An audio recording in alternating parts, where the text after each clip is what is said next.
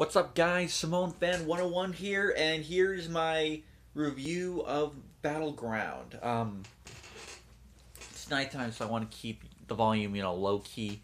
Uh, and for some reason, I'm looking at the quality, it looks particularly better and a lot faster. Maybe it's just me. I don't know. Uh, anyways, um, this is my Battleground review. Overall, I thought it was a pretty good show, if not a great show. Uh, I'll figure out the ratings um, tomorrow, as well as the ratings for Ultima Lucha Dos. Um, again, you want the ratings, check it out in the description box below. So let's just get to it. Uh, opening opening the show actually kind of surprised me. The opener of the show was Charlotte and Dana Brooke versus Sasha Banks and her mystery partner. Turned out, her mystery partner was a one-off main roster appearance for Bayley. That's right. Bayley made her first main roster appearance in WWE. Now, this is not this was not a permanent move. Bayley, this was a one-off appearance um, that Bayley would make on the main roster, and she would basically just go straight back down to NXT. And um, which actually does kind of and JBL did say, according to my sources, this will be a one-off um, appearance for Bayley. Which does beg the question: How did J did JBL like? How did JBL know that Bayley was the mystery partner? It kayfabe, of course. Um, but yeah, overall, I thought it was a, a good, a decent match. It was a, it, it was a, it, there was a, a May, yeah. Sorry, I hate when I do that. Bayley did a few moves, um, that were you know that were exciting. Of, of course, one of them being that um, elbow, like jumping elbow to the corner where she does the. Ah! Seriously, what the hell? Um, um, and uh, Sasha Banks won. Bayley and Sasha won the match after Sasha hit Charlotte with the backstabber into the bank statement. There and thus setting up a legit match at SummerSlam between Sasha Banks and Charlotte. Now, and, and it, as far as the match goes, it was a decently good match. I'm not quite sure about the rating, but again, it was a decent. It was a decent match at least. Um, the next match was the tag, the six man tag team match between the Wyatt family, consisting of Bray Wyatt, Braun Strowman, who is now on Raw, and Eric Rowan, Rowan and Wyatt, who are on SmackDown, against the New Day, who are on Raw. Um, as far I thought this was a good match. Honest, and I heard a there was a comment I saw online saying um, something along the lines of this could have been as good as the uh, as if the if it was the Wyatt incarnation from a couple years ago. My answer was screw that. If this was the New Day versus Wyatt, Luke Harper, and Eric Rowan, that match would have been fucking awesome. Uh, look at look at the Wyatt family versus the Shield the matches they had. Those were some amazing matches. So yeah, those were really you know great amazing matches. So um, I, I cannot compare to that. I, I can't. Um, but as far as the match itself goes, I thought it was a good match. Um, I did like the interplay between. I think my favorite part of the match was the interplay between Xavier Woods and Bray Wyatt. Those two matches were not just two matches. Those two guys, I know, given like a good ten to fifteen minute singles match, they could knock it out of the park. I mean, those are two guys that I would predict have a great match, and I've seen Xavier Woods work in TNA when he was in the X division. He had some pretty darn, darn good matches, especially those with Petey Williams. Um, another uh, and, and, one other thing I want to bring up with this match is Big E's spear through the ropes. Now, there are some people who worry about Big E's spear through the ropes will cause him to have severe injuries later on down his career, um, permanent, like permanent side effects of the injuries. However, this is and what happened was here here specifically, Big E hit. I believe Eric Rowan through the ropes, but what happened it looked like when he was going through the ropes and when he was trying to land on the floor, it looks like he landed on his head so that was a little bit because he held his head um, immediately after he landed, so that was a little bit scary. Other than that, though, Um, this was just a, this was a good match. I I I kind of get why the Wyatt family won. I mean, the New Day are the tag team champions, and Bray Wyatt is um was the one that got the pinfall.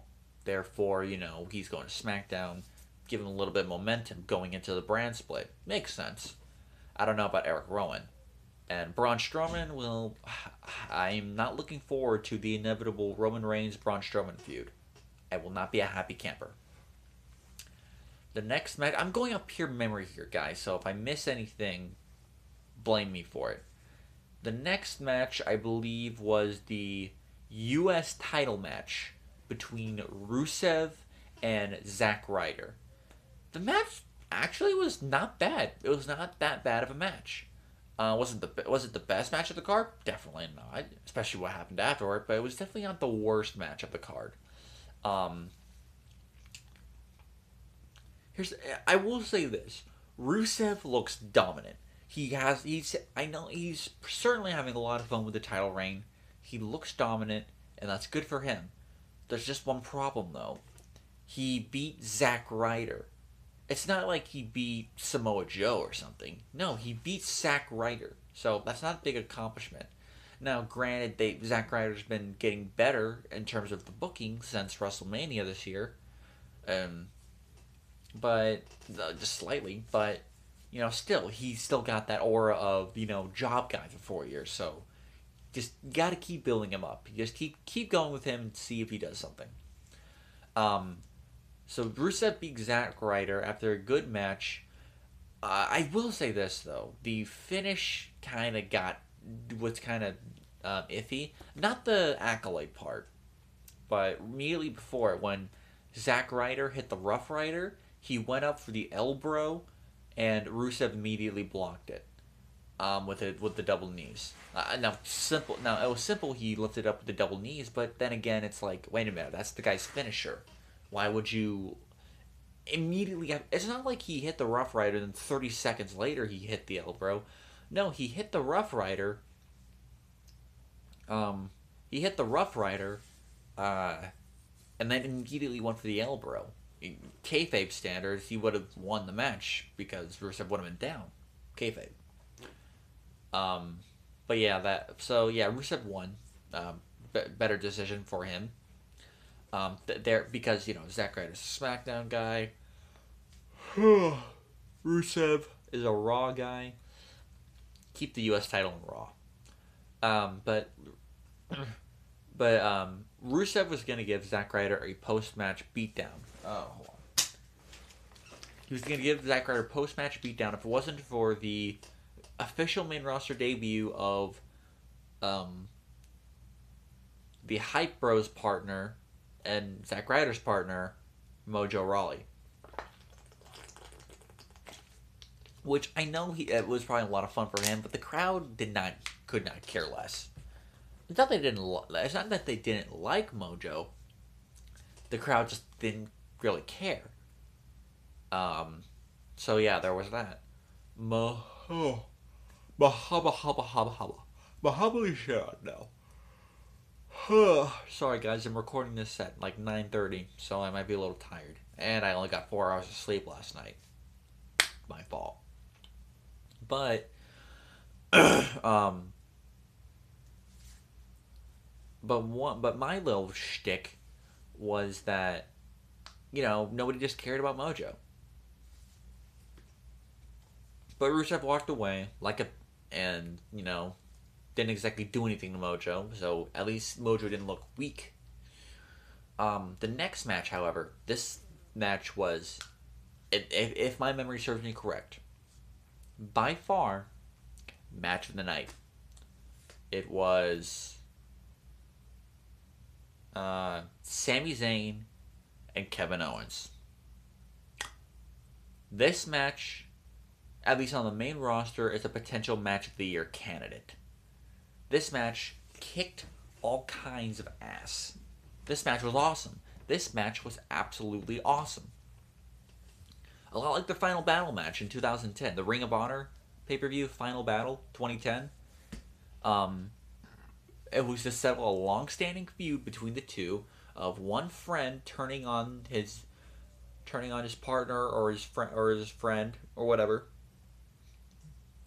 And after a long time of taking all this shit, you know, he finally gets his revenge on Kevin on his partner. In both in both Ring of Honor and WWE, it was the same. Kevin Owens or Ke- Kevin Steen slash Kevin Owens turned on El Generico slash Sami Zayn after a major match. In fi- in Ring of Honor, it was the Final Battle 2009 match between Steen and Generico against the Young Bucks. Uh, they lost, and Steen immediately, and I believe Steen hit El Generico with a steel chair in the head, effectively ending the friendship tag team and turning Steen heel. Um, in WWE, ironically enough, it was in the same month.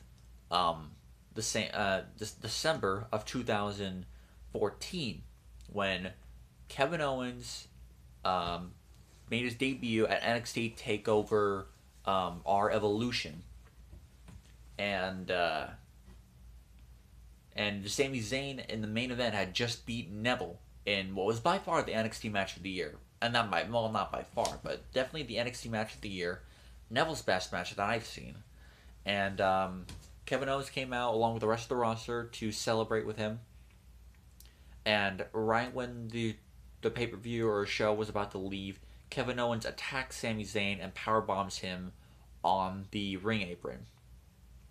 So this was a long standing feud between both guys in both companies. And the final match ended up the same way. The feud, for the most part, ended up the same way.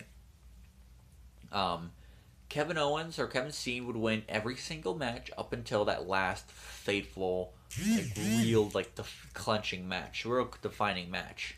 He would win every match. In WWE, in the main roster, WWE, NXT, whatever, he did the same thing. He beat he beat Zayn at uh, at Takeover Rival. He beat him at um, that other Takeover show. I forget what, what it was called. Was it? It wasn't the end. It was last. What was the last year's show called? It was not respect. Um, that other takeover show, the one Sami Zayn worked hurt. Uh, Sami Zayn and Kevin Owens faced off. They he, Zayn lost at WrestleMania. Technically, Owens did too. Um, Zayn lost to Kevin Owens in a singles match at Payback. He lo- along with along with Owens, lost in both the Extreme Rules, um, not the Extreme Rules, but both in the Fatal Four Way Intercontinental Title match and the Money in the Bank title, Money in the Bank ladder match, and this was the kind of the feud ender, at least hopefully. Um, and the match, I, I can't go into real many specifics except for one, a couple spots, but the match was absolutely fantastic. There was this one spot where Sami Zayn looked like he was going for the um, uh, a springboard, a springboard moonsault outside the ring. But what? But from the looks of it, he he kind of spring when he tried to springboard off the rope, he did it wrong. At least it looks like he did it wrong, and then landed straight on his on his right arm. He kind of hit Owens, but not really. But I would think this was a major botch the problem is that immediately afterwards, Owens took Zayn's right arm and then hit it twice, swinging it against the against the pole and uh, on the, in the corner of the ring. Twice. So it's like, was it a work? Uh, not work, but was it you know a botch? Was it you know meant to happen, or was it kind of, or was or was it a botch that Owens and Zayn decided on the fly to make it a part of the match. Because there were a few spots where Owens would work on the arm. Not too not too badly, but you can but if I had to guess, it was a botch and they just ran with it. Honestly, in my opinion, with the exception of the actual botch itself, the working of the arm, whenever they did do it, did kind of make the match feel a little better. Um, the best part of the match was the ending when Sami Zayn fi- countered Kevin Owens because I think Kevin Owens was going for another pop up power bomb, but what happened was Owens, um, Owens instead ran into the expl- exploder suplex. Then he ran into that, like a, that other kind of suplex. I forget it's called. It's the one where he constantly lands on his head because he's so big for Sami Zayn. Sami Zayn hit the Helluva kick, um, but Owens landed on Zayn, almost like begging for mercy, like please end it.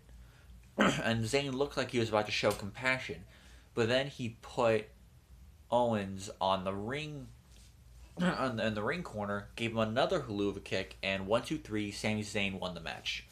Match of the year so, well, maybe one of the matches of the year so far. It's still got to contend with, with uh, Styles and Styles and uh, Cena at Money in the Bank, and Rollins and Reigns also at Money in the Bank. But this is definitely one of the matches of the year, and I recommend it completely. If you haven't seen this, if you have not seen this match, you need to see it. It's absolutely awesome. The botch looked ugly, but other than that, it was a great match. The next match, if I recall, is Becky Lynch versus Natalya. Now, the fact that this got higher on the card than the Women's Championship actually gives me a little bit of hope for SmackDown. This and the ending of the show. Um, so they basically had a back and forth match. an Natalya acting heel, working over the left knee of Becky Lynch. What do I think about? I thought this was a pretty good match. I thought it was a better match than it was. It was a better match than um, than the